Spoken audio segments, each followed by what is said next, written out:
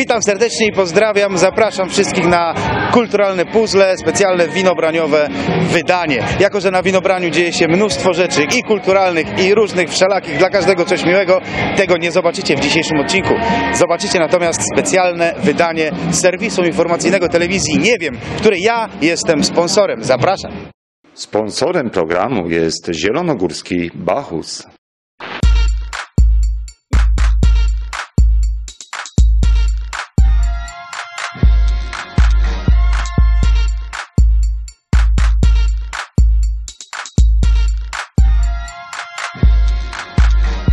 Witam Państwa bardzo serdecznie. Halina Harczygówka.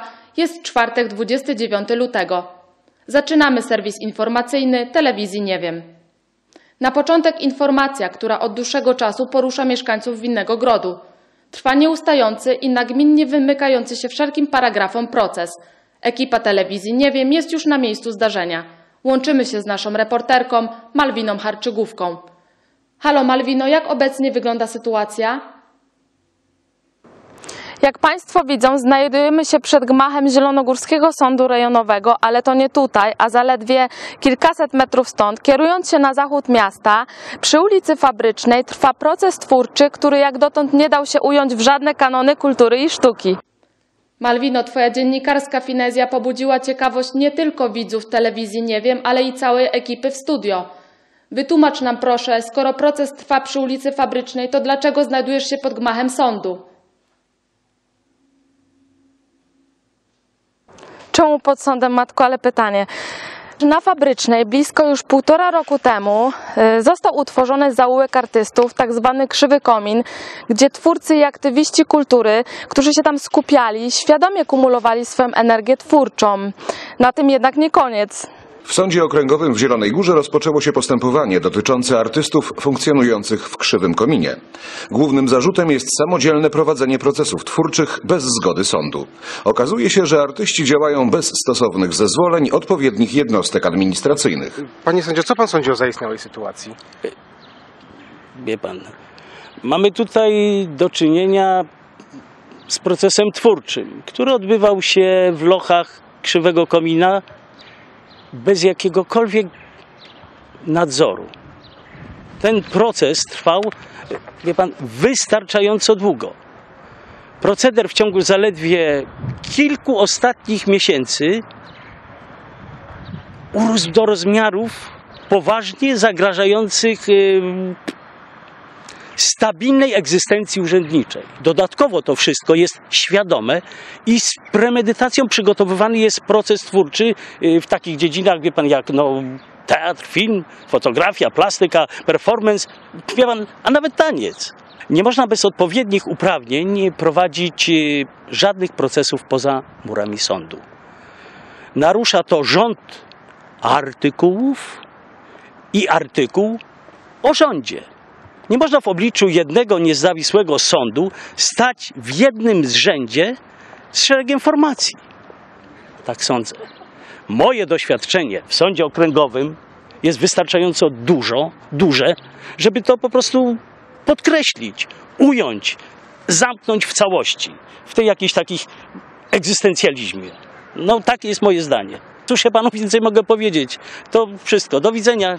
Oskarżeni artyści z Krzywego Komina usłyszeli poważne zarzuty dotyczące uprawiania permanentnego procederu twórczego.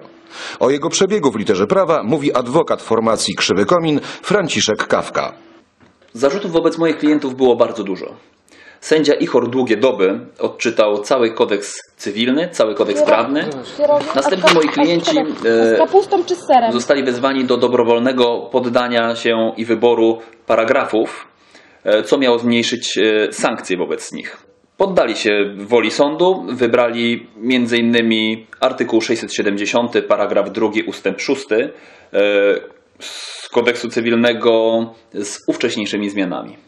Na tę chwilę, e, po analizie e, dokumentacji prawnej, wiemy, że artykuł 670, paragraf 2, ustęp 6 został skreślony, a jego późniejsze zmiany uchylone. Po wstępnym zapoznaniu się z dowodami osobistymi już odezwały się głosy opinii publicznej, czy sąd nie podszedł do sprawy zbyt rygorystycznie. O komentarz poprosiliśmy specjalistę, prokuratora Sądu Okręgowego, który w procesie odgrywa rolę oskarżyciela posiłkowego. Po posiłku przedstawiłem sędziemu szczegóły sprawy. Yy, Gdyby oni zajmowali się tylko jedną profesją, to jeszcze może przymknęlibyśmy oko, ale oni zajmują się wszystkim.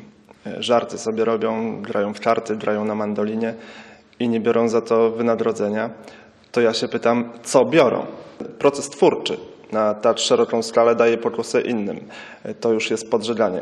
Działania wolnych artystów należy zwolnić. Oni są niebezpiecznie szybcy. Jeśli my ich nie zamkniemy, to mam wrażenie, że oni już nigdy się nie zamkną. Jak sami się Państwo przekonali, proces twórczy artystów Krzywego Komina nie dość, że nie daje się zatrzymać, to przebiega jeszcze to z większym natężeniem. O jego przebiegu będziemy Państwa informować na bieżąco. Oddaję głos do studia.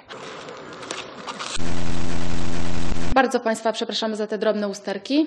Wracamy do wiadomości. Gwiezdne Wojny to jeden z najbardziej znanych filmów science fiction na świecie. Kosmiczną sagę o odwiecznej walce dobra ze złem obejrzało do tej pory ponad miliard osób. Jak dowiedzieliśmy się od naszego informatora, nowa część serii ma być kręcona w Zielonej Górze. Jestem po rozmowach z George'em Lucasem. Jest ok. Podoba nam się w Zielonej Górze. Chcemy wchodzić w ten biznes. Zielona Góra to fajne miasto. Ludzie chodzą tu z myszką Miki na koszulkach. A my weszliśmy w ten biznes po prostu dlatego, że nie dla pieniędzy, tak jak mówią niektórzy, ale dlatego, że kochamy Disneya, kochamy myszkę Miki. Myślę, że znajdziemy tu bardzo dobre wsparcie. Na nowej części Gwiezdnych Wojen skorzystają nie tylko hotelarze i restauratorzy, ale też Uniwersytet Zielonogórski. Gwiezdne Wojny w Zielonej Górze to szansa nie tylko dla hotelarzy albo restauratorów, a nawet e, całego miasta. To również duża szansa dla Uniwersytetu Zielonogórskiego.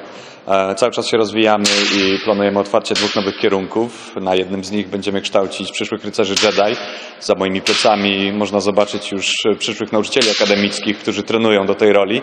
E, Z kolei z Aeroklubem Zielonogórskim będziemy prowadzić zajęcia z e, pilotażu statków kosmicznych, a Politechnika będzie uczyć budowy laserów i Gwiazdy Śmierci. Czyli ogólnie bardzo dobrze. Pomysł nakręcenia nowej części Gwiezdnych Wojen zrodził się w umysłach lokalnej grupy entuzjastów z Zielonogórskiego Klubu Fantastyki Ad Astra. Zakochaliśmy się w Gwiezdnych Wojnach w 77 roku i od 79 zaczęliśmy biegać z tym pomysłem, żeby jakoś to przenieść w polskie albo nawet zielonogórskie realia. E, Staraliśmy się długo o to. Właściwie cały klub podporządkował wszystkie działania przez ten czas tylko temu jednemu celowi i udało się. Nawiązaliśmy kontakt z George'em Lucasem. Będzie Gwiazda Śmierci, dzisiaj to możemy już powiedzieć. Gwiazda Śmierci będzie tuż przy ratuszu.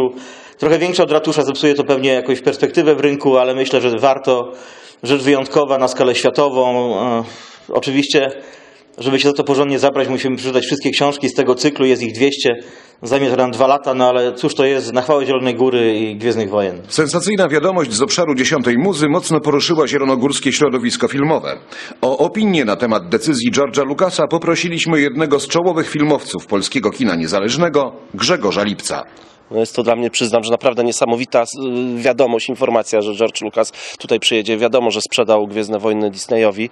Y, Trzeba koniecznie mu pokazać falubas i zawody sportowe, bo ta mieszka Miki zobowiązuje. Natomiast jest to informacja no, dla mnie kosmiczna, że, że on tu będzie y, nagrywał filmy. Natomiast zawsze powtarzałem, że Polska jest świetnym krajem, Zielona Góra świetnym miejscem do robienia filmów y, właśnie przez hollywoodzkie koncerny, tylko że jakoś taka polityka podatkowa dotychczas y, odstraszała tych producentów, wybierali Czechy, Budapeszt i tak dalej. Super, że wreszcie Zielona Góra, w ogóle to jest szok. Kończąc dzisiejszy program, chciałem się z Państwem pożegnać, mając na uwadze dobro mojej rodziny, jak i chęć e, zapewnienia im godziwego życia.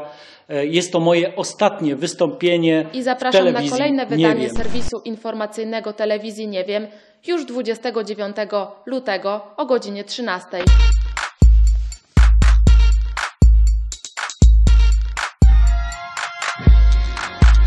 Oglądajcie telewizję Nie wiem.